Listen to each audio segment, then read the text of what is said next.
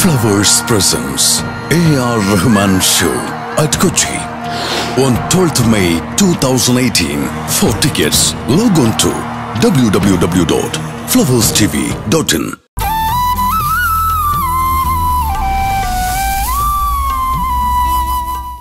ആ ഒരു മുൻകരുതൽ വേണമല്ലോ നമ്മളെ കഷ്ടപ്പെടുത്തുക മാത്രമല്ല നമ്മുടെ കഷ്ടപ്പാടിന്റെ ഫലങ്ങൾ കൂടെ പിടിച്ചെടുക്കാൻ ശ്രമിച്ചാലോ എനിക്ക് തോന്നി രണ്ടാമത് വക്കീലിനെയും കൂട്ടി ഭാര്യ വന്നപ്പോഴാ ചിത്രം വ്യക്തമായത്. രണ്ടാമതോ? മൊഴി പിന്നെ രജിസ്റ്റർ ഓഫീസിൽ വന്നിരുന്നു? വന്നു. അഡ്വക്കേറ്റ് ട്രീസ ജോസഫിന്റെ കൂടെ. മാഡത്തിന്റെ പേരിലുണ്ടായിരുന്ന സ്വത്ത് സാറിന്റെ ബന്ധുക്കളുടെ പേരിൽ മാറ്റി എഴുതുകയും ചെയ്തു.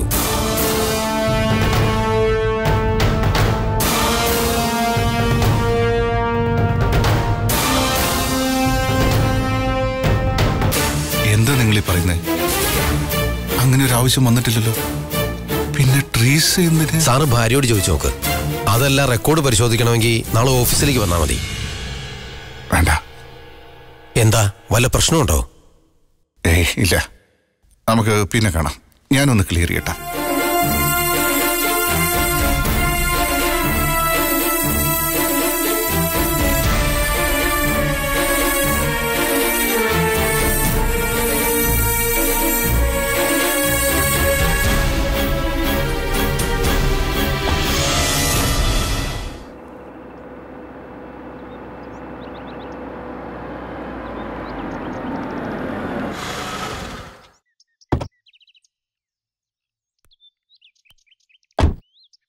മൊഴി?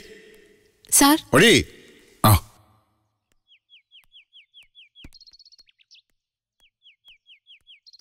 എന്തു പറ്റി? കുറച്ച് ദൂരെ ഒരിടത്ത് പോവാനുണ്ടെന്ന് പറഞ്ഞിട്ട്. പോയില്ല. താൻ ട്രീസയും കൂട്ടി റീസ ഓഫീസിൽ പോയിരുന്നോ? പോയിരുന്നു. സാറ് പറഞ്ഞിട്ടാണെന്നാ ട്രീസ പറഞ്ഞ്. എന്നിട്ട് അവിടെ എന്താ സംഭവിച്ചത്? എന്തു പറ്റി? എന്താ ചെയ്തതെന്ന്? അവർ സ്വത്തിന്റെ കാര്യം. മാറ്റി രജിസ്റ്റർ ചെയ്തോ. ആരുടെ പേരിൽ? ശ്യാമിന്റെയും ഇന്ദേച്ചിയുടെയും പേരിലേക്ക്.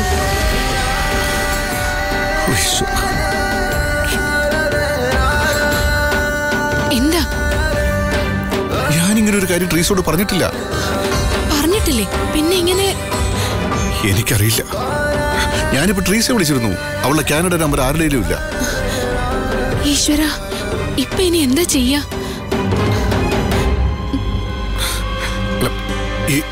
ഈ കാര്യം ജയന്തനോ ശ്യാമനോ ആർക്കെങ്കിലും അറിയോ? ഇല്ല.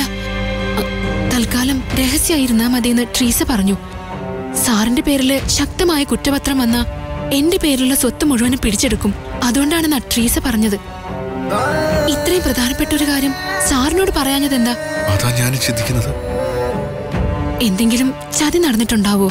ഏ ട്രീസ് ഒരിക്കലും എന്നെ ചതിക്കില്ല. ഇതിനു മുമ്പ് എത്രയോ തവണ അവളെ വിലക്കെടുക്കാൻ വേണ്ടി ആളുകൾ ശ്രമിച്ചിരുന്നു. എനിക്കാകെ ടെൻഷൻ ആകുന്നു ഞാനും ചോദിച്ചില്ല സാറിനോട്. താനൊരു കാര്യം ചെയ്തേ. പെട്ടെന്ന് റെഡിയാകും ആദ്യം ചെന്ന് ശ്യാമനോടും ഇന്ദിനോടും കാര്യം പറയാം. എന്നിട്ടൊരു തീയ നിശ്ചയിച്ച് അത് വീണ്ടും മാറ്റി എഴുതണം ആ ഭാഗ്യത്തിന് ഇപ്പൊ അവർ പെരുമാറുന്നത് നല്ല രീതിയിലാണ് പണ്ടത്തെ അവസ്ഥയായിരുന്നെങ്കിലും. ഞാനും അതാ ചിന്തിച്ചത്. എന്നാലും ട്രീസ് ഇനിയിപ്പോ അതൊന്നും ചിന്തിക്കണ്ട. നമുക്ക് പെട്ടെന്ന് പോയിട്ട് വരാം. ഞാനിപ്പോ ഇറങ്ങാം. ആ ചെല്ലേ.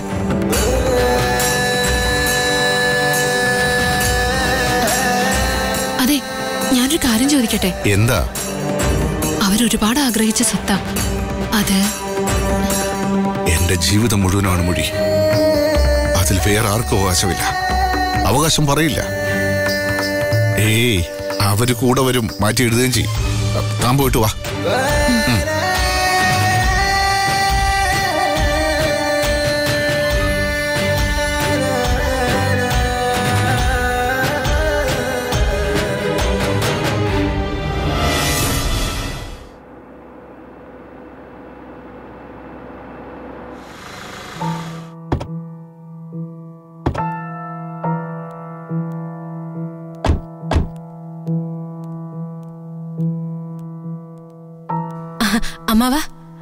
എന്താ അമ്മാവ?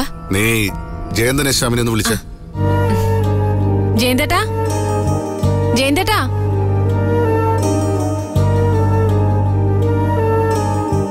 എന്താ പറയാൻ പോകുന്നത്? വരട്ടെ.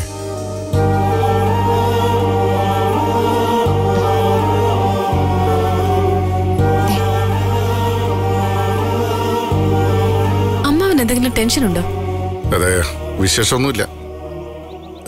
എന്താ മാവ?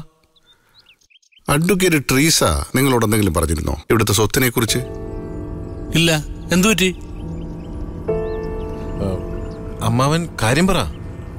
അതെ എന്റെയോ മൊഴിയുടെ പേരിൽ സ്വത്തിന്റെ വാശം ഉണ്ടാകുന്നത് കേസിന്റെ ഘട്ടത്തിന് നല്ലതല്ല എന്ന് ട്രീസ പറഞ്ഞിരുന്നു.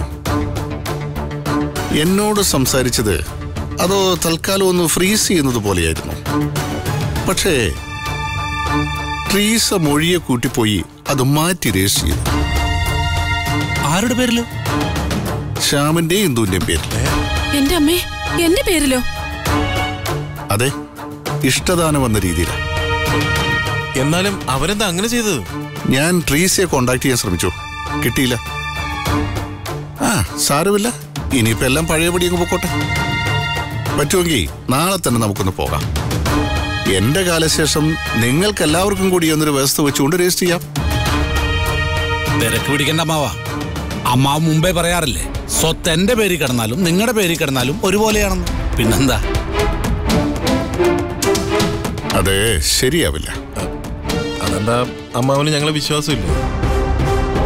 ഞങ്ങൾ അമ്മാവനെ ചതിക്കൂ. ഏയ് അതില്ല. എന്നാലും എന്നാലും ഇപ്പൊ വേണ്ട.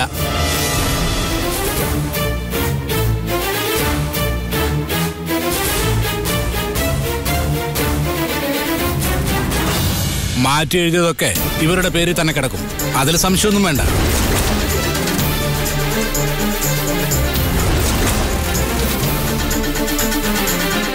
ജയന്തേട്ടൻ തമാശ പറയണം. വെറുതെ സാറിന് ടെൻഷൻ ആക്കല്ലേ? ജയന്തൻ പറഞ്ഞത് വെറും ഒരു തമാശയാണോ എന്ന് എനിക്കറിയില്ല. പക്ഷെ എന്റെ തീരുമാനം ഇതാ. ഷാമു ഇന്ദും നാളെ രാവിലെ പത്ത് മണിക്ക് രജിസ്റ്റർ ഓഫീസ് വരും. എന്താ സമയം അല്ല അത് പിന്നെ അമ്മാവ ഞങ്ങൾ ഇതൊക്കെ കുറെ ആഗ്രഹിച്ചതല്ലേ? അപ്പോ പിന്നെ പെട്ടെന്ന് അത്. എന്നോടാണോ നീ പറയുന്നത് അബദ്ധം പറ്റിയ ഒരു കാര്യം നിന്റെ പേരിലായാൽ അതിനാർത്തി കാണിക്കുകയാണോ? അബദ്ധം പറ്റിയതാന്ന് ആരാ പറഞ്ഞ്? അബദ്ധം പറ്റി അത് അമ്മാവന്. ഞങ്ങൾ തീരുമാനിച്ചുറപ്പിച്ചത് തന്നെ നടന്നത്. എന്താ നിങ്ങൾ ഈ പറയുന്നത്? അപ്പോ നിങ്ങൾ എന്നോട് പറഞ്ഞതും ചെയ്തതും ഒക്കെ കള്ളം. ഞങ്ങൾ സ്വപ്നങ്ങൾ കാണാൻ തുടങ്ങിയിട്ട് കാലം കുറച്ചായി മോളെ. അത് തകർത്തുകൊണ്ടാ നീ അമ്മാവന്റെ ജീവിതത്തിലേക്ക് വന്നു ഞങ്ങളോട് ആരോടും ചോദിക്കാതെ ഈ വീട് നിന്റെ പേരിൽ എഴുതി തന്നില്ലേ അമ്മാവൻ? അന്ന് ഞങ്ങൾക്ക് എത്ര വിഷമം തോന്നി കാണും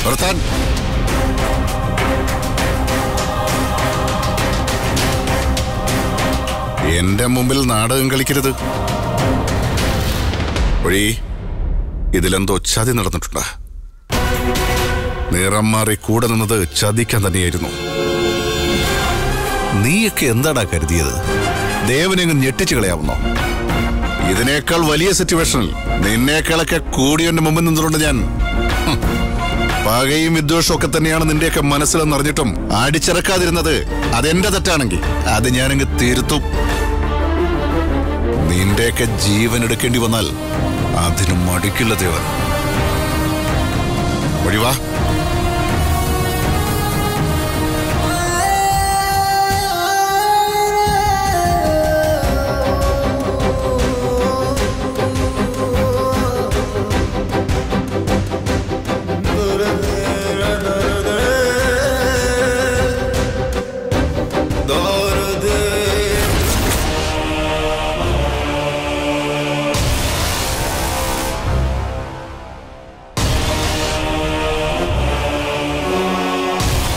മിസ്റ്റർ ദേവൻ.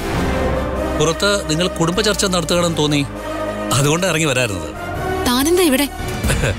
ഇവിടെ ഈ വീട്ടിൽ. അത് ചോദിക്കേണ്ടത് മൊഴിയല്ലല്ലോ. ദേവനും അല്ല. അവരല്ലേ ഇപ്പോഴത്തെ ഈ വീടിന്റെ അവകാശികൾ?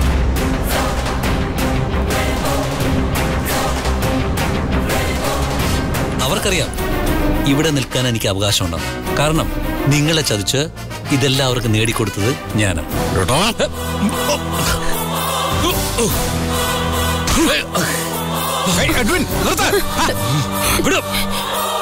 മുമ്പിൽ വന്ന് നിന്നപ്പോ തന്റെ പ്രതാപം ഓർമ്മിപ്പിച്ച് താൻ എന്നെ വിറപ്പിച്ചു. അന്ന് തുടങ്ങി ഞാൻ തന്റെ കാലിനടിയിലെ മണ്ണ് ചോർത്തിയെടുക്കും. തന്നെ അറസ്റ്റ് ചെയ്യിപ്പിച്ച ഞാനാ വിഘ്നേഷിനെ ഭീഷണിപ്പെടുത്തിയും വിലക്കെടുത്തു. അവിടെ തനിക്ക് ജാമ്യം എടുത്തു തരാമെന്ന ദേവദൂത ട്രീസ ജോസഫ്. ഭീഷണിയുടെ ഒരു കഥ അവൾ പറഞ്ഞു. പച്ചക്കള്ളം. എഡുവിന്റെ നാണയത്തൊട്ടുകൾ കൈനീട്ടി വാങ്ങിയ എന്റെ കൂറ്. അവിടെ നിന്ന് അങ്ങോട്ട് താനും തന്റെ ഭാര്യയും കണ്ടത് ഞാനും പ്രീസയും ജയന്തനും ചേർന്ന് നടത്തിയ റിയൽ ഡോ. അതേടി. നിന്നെ വിശ്വാസത്തിലെടുക്കാൻ അഡ്വക്കേറ്റ് ട്രീസയ്ക്ക് കാവലാളായി നിന്നു. ശത്രുക്കൾ മറ്റാരാണെന്ന് ബോധിപ്പിക്കാൻ ട്രീസയെ പിന്നെ ആക്രമിച്ചു.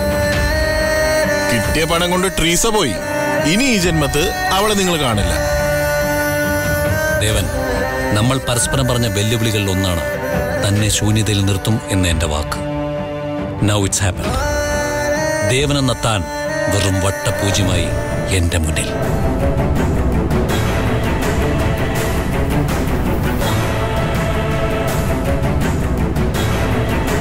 ആസൂത്രിതമായ ചതി.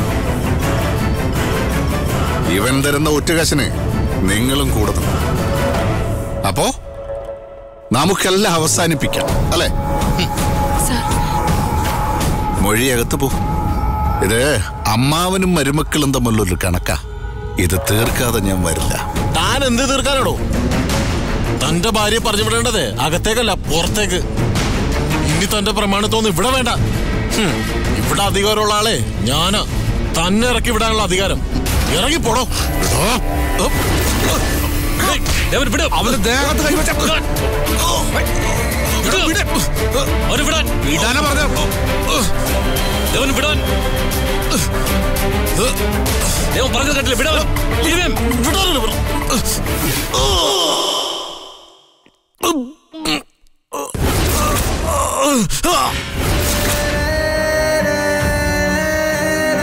എന്റെ സാറിന്റെ ദേഹത്ത് തൊട്ടാലോ എന്തെങ്കിലും പറഞ്ഞാലോ ഉണ്ടല്ലോ കൊല്ലും ഞാൻ. വണ്ടി ഇറക്ക എഡ്വിൻ എടാ പതുക്കെ.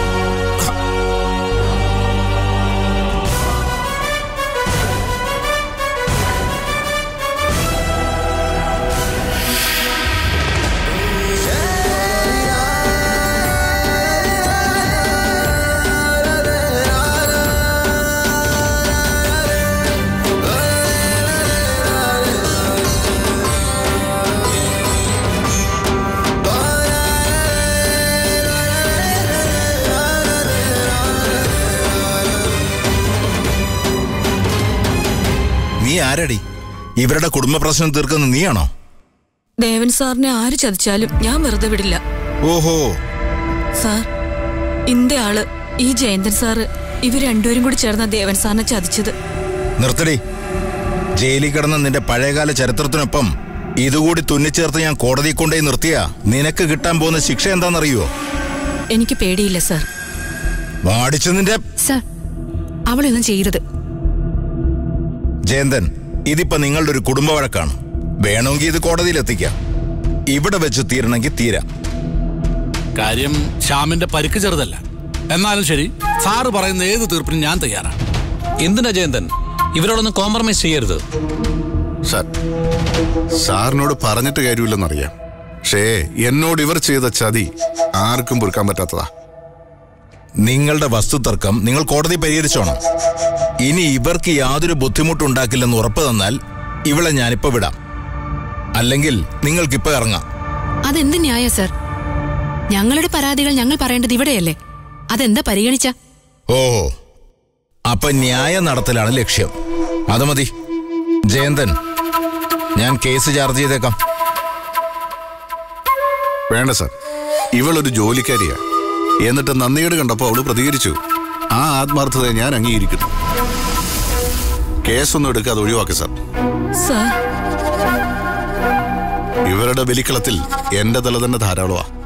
അവിടെ മറ്റാരും വേണ്ട. കേസ് ഒഴിവാക്കണം സാർ.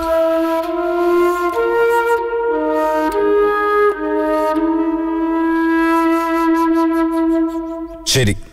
നിങ്ങൾക്ക് പോകാം. ഇനി ഇതുപോലെ എന്തെങ്കിലും ഒന്ന് ആവർത്തിച്ചാൽ ഇനി ചതിച്ചു നേടാൻ ഒന്നും ഇല്ലല്ലോ സാർ. വഴി വാ വാ.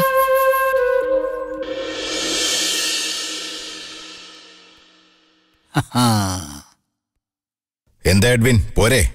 ഓ യെസ്. പെട്ടെന്ന് കോടതിയിലേക്ക് ഒരു കേസ് എത്തുന്നത് ഇപ്പൊ നമുക്ക് നല്ലതല്ല. കിട്ടിയതിന്റെ അളവ് വെച്ചൊരു വെട്ടൊക്കെ കൊള്ളാം. അല്ലേടോ Edwin? Okay thank you sir. ഇനി പെട്ടെന്നൊന്നും നിങ്ങളായിട്ടൊരു പ്രകോപനം ഉണ്ടാക്കരുത്. ഇപ്പൊ ശ്രദ്ധിക്കേണ്ടത് നിങ്ങളാ. ഷുവർ. പോകാം. എന്നോട് ക്ഷമിക്കണം സാർ. സാറിനോട് അവർ അങ്ങനെയൊക്കെ ചെയ്തപ്പോ എന്ത് ചെയ്യണമെന്ന് അറിയാൻ പറ്റാതെ അതൊന്നും സാരല്ല അല്ല മാഡം. ഞാൻ കാരണം സാർ അവരുടെയൊക്കെ മുന്നിൽ തല താഴ്ത്തി നിന്നില്ലേ? മൈന നീ കാണിച്ചത് ആത്മാർത്ഥതയുള്ള ഒരു ജോലിക്കാരിയുടെ ലക്ഷണം തന്നെയാ. ഞാനതിനെ കുറ്റപ്പെടുന്നില്ല. പക്ഷേ ആ പ്രവൃത്തി കൊണ്ട് ഒരു ഗുണവും ഉണ്ടായില്ല എന്നുള്ളതാണ് സത്യം. എന്നാ സാർ ഇതെല്ലാം? ഈ നാട്ടിൽ നീതി നിയമമൊന്നും ഇല്ലേ അവർക്ക് എങ്ങനെയാ സാർ സാറിനെ ചതിക്കാൻ പറ്റിയത്? മാഡം സാറിന് എവിടെ ജീവിക്കും? എന്ത് ചെയ്യും? കടവുളെ എനിക്കൊന്നും പിടികിട്ടുന്നില്ല ഇതുവരെ വാരിക്കുട്ടിയതെല്ലാം പ്രകൃതി ദുരന്തത്തിൽ നഷ്ടപ്പെട്ടു പോയവരില്ലേ? അത് അവർ തെറ്റ് ചെയ്തിട്ടാണോ? എന്നിട്ടും അവർ ജീവിക്കുന്നില്ലേ? ഇതെന്തമാതിരിയാണോ സാർ? കൊല്ലണ്ടേ അവന്മാരെ? മൈന ഇനി ആരെയും കാണാൻ നിൽക്കണ്ട ഒന്നും സംസാരിക്കുകയും വേണ്ട. മൈന ഇത് വെച്ചോ. എന്നെ സാർ ഇത്? ഒരാളെ ജോലിക്ക് വെക്കേണ്ട ഒരു ആവശ്യം ഇനി എനിക്കില്ല. ഞാൻ ഇനി താമസിക്കാൻ പോകുന്ന മൊഴിയുടെ വീട്ടിലാ. മൈന വീട്ടിലേക്ക് തിരിച്ചു പോയിക്കോളൂ. മാഡം ഈ കേസ് വന്നതുകൊണ്ടൊന്നുമല്ല ഇപ്പോ അതേ പറ്റൂ. അവിടെ ഞാനും കൂടി നിന്നോളാം മാഡം. എനിക്ക് ശമ്പളം ഒന്നും വേണ്ട. എനിക്ക് നിങ്ങളെ വിട്ട് പോകാൻ പറ്റില്ല. ജീവിതത്തിൽ കുറച്ചുനാൾ സന്തോഷിച്ചത് നിങ്ങളുടെ കൂടെയാ. മരണം വരെ അങ്ങനെ ആയിരിക്കണമെന്നുണ്ട്. നോമിന ഇപ്പോഴത്തെ സാഹചര്യത്തിൽ നടക്കില്ല.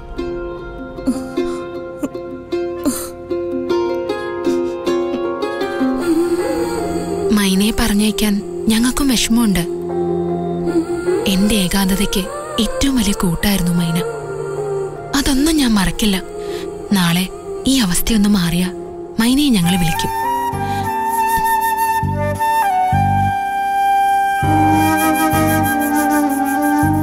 മൈന. ഇത് വാങ്ങണം. സാർ. ഓരോ വേർപിരിയിലും വേദനയാ. ഇനിയിപ്പോ ഞങ്ങൾ ഇതൊക്കെ ശീലമാക്കിയില്ലേ പറ്റൂ. മാഡം ഇപ്പോ ഇങ്ങനെ പിരിഞ്ഞു പോവരുത്. എന്തെങ്കിലും മൈനക്കൊരു ആവശ്യം വന്നാ വിളിക്കാം.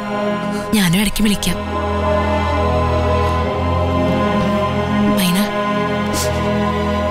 മാഡം വിളിക്കുന്നത് അങ്ങനെയാണെങ്കിലും സ്വന്തം കൂടപ്പുറപ്പായിട്ട് എനിക്ക് തോന്നിയിട്ടുള്ളത്. എനിക്കും അതെ. എന്നാലും മുടിയാതെ മാഡം. പറയുന്നത് കേൾക്ക്. ഞാൻ വിളിക്കും. ഒരുപാട് ഓടി ഓടി അവസാനം കാലുറപ്പിച്ച് നിൽക്കാൻ ഒരിടത്ത് എത്തിയത് തോന്നിയതാ. അതും തീർന്നു. നമുക്കൊക്കെ ദൈവത്തിന്റെ എഴുത്ത് ഇങ്ങനെയല്ലേ? ശരിയാണ്. ഞാൻ ഈ അവസ്ഥയിൽ നിങ്ങളെ ബുദ്ധിമുട്ടിക്കാൻ പാടില്ല.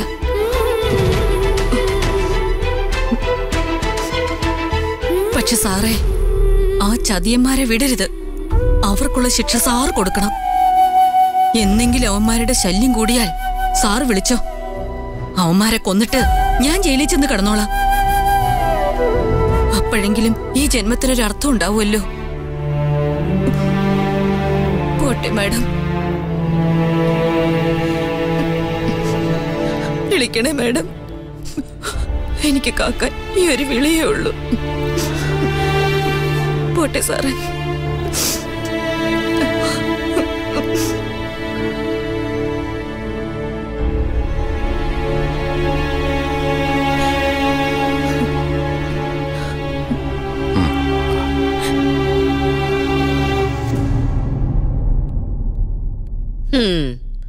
ലോകത്തൊരിടത്തും കേൾക്കാത്തൊരു കഥയായിപ്പോയി. ഇതാ പറയുന്നേ കിട്ടാനുള്ള ഭാഗ്യം മാത്രം പോരാ അനുഭവിക്കാനുള്ള യോഗം കൂടി വേണമെന്ന്. എടോ സംഭവിച്ചെന്താണെന്ന് നമുക്കൊക്കെ അറിയാം. പിന്നെ എന്തിനാ കുറ്റപ്പെടുത്തൽ? എന്താ അറിഞ്ഞത്? വക്കീൽ പറഞ്ഞു അവൾ ചെയ്തു. വക്കീലിനെ കാണാൻ കൂടെ പോയവരും വക്കീലിന് കാവൽ നിന്നവരും ഒക്കെ ഉണ്ടായിരുന്നല്ലോ. ഒരു വാക്ക് പറഞ്ഞോ ഇല്ലല്ലോ? വേറെ ആരെങ്കിലും ചെയ്തിരുന്നെങ്കിലേ നിങ്ങൾ ഈ ന്യായമൊക്കെ പറയുമായിരുന്നോ? തന്നിഷ്ടം അതിന്റെ കൂലി അവൾക്ക് കിട്ടിയത്. ഒന്ന് മിണ്ടാതിരിക്കടോ. ഏത് ദുരന്തത്തിന് പരിഹസിച്ചും അതൊരു ശീലമായി പോയി ഇത്ര വലിയ നഷ്ടം സംഭവിച്ച ദേവൻ പോലും അവൾ മനസ്സിലാക്കുന്നുണ്ട്. എന്നിട്ട് താൻ എന്നാ പിന്നെ അവൾ ചെയ്തതാണ് ലോകത്തിലെ ഏറ്റവും വലിയ ശരിയെന്ന് ഞാൻ പറയാം. നീ പറയടി മോളെ നിനക്കിത് ശരിയായിട്ട് തോന്നുന്നുണ്ടോ? മതി മതി. മോളെ നിന്റെ അമ്മായി ഇനി സ്വന്തം പക്ഷം പിടിക്കാൻ ആളെ കൂട്ടും. നീ അത് ചേരണ്ട കേട്ടോ പിറന്ന വീടും കൂട്ടായി ജനിച്ചവരൊന്നും ഒറ്റ വാക്കിൽ തള്ളിക്കളയേണ്ടവരല്ല. ഞാനൊന്ന് പുറത്തു വിട്ട് വരാം. അതെ. ചെല്ല് ചെല്ല്. ന്യായീകരിച്ച് ന്യായീകരിച്ചേ. എല്ലാം കൂടി തലയിലാവാതിരിക്കാൻ നോക്കിയാ മതി. ഓ താൻ പേടിക്കണ്ട. തന്റെ മുഖം എപ്പോഴും എന്റെ മനസ്സിലുണ്ടാവും. എല്ലാ ഭാവത്തിലും. എന്ത് ചെയ്യുന്നതിന് മുൻപും അതിന്റെ പ്രതികരണം ഞാൻ നോക്കും. എന്താ പോരെ? ഉം. ഞാൻ പറയും. ആര് തെറ്റ് കാണിച്ചാലും ഞാൻ പറയും. അതെന്റെ ശീല. നീ തന്നെ ഒന്ന് പറ. ഏത് കാര്യത്തിലാ നിന്റെ ചേച്ചി അഭിപ്രായം ചോദിക്കുന്നേ? കാതരേശൻ ഉണ്ടായിരുന്നപ്പോ അവൾ പറയുന്നത് തന്നെയായിരുന്നു ന്യായം. ഇപ്പോഴും അതെ. അല്ല അതൊട്ടും പ്രതീക്ഷിക്കാത്തതായതുകൊണ്ടല്ലേ? അതെ. പക്ഷേ നാട്ടുകാരറിയുമ്പോഴോ ആരെ കുറ്റം പറയും? പറ. പറഞ്ഞു നിൽക്കാനും തോളിത്തട്ടി സമാധാനിപ്പിക്കാനും ഒക്കെ പറ്റും. പോയതേ ഒരു ജന്മം സമ്പാദിച്ചതാ. എന്ന് പറഞ്ഞ ഒരു ജന്മം തന്നെ. ആ ഞാനൊന്നും പറയുന്നില്ല. നിന്റെ അമ്മാവന് പകരം എനിക്ക് ഈ കാര്യങ്ങൾക്ക് വേണ്ടി അവളുടെ കൂടെ നടക്കാൻ തോന്നിയില്ലല്ലോ?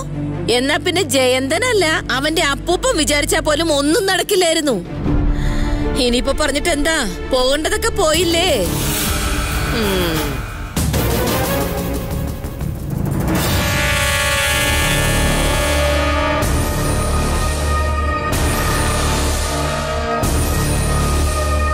Flowers presents AR Rahman Show at Kochi on 12th May 2018.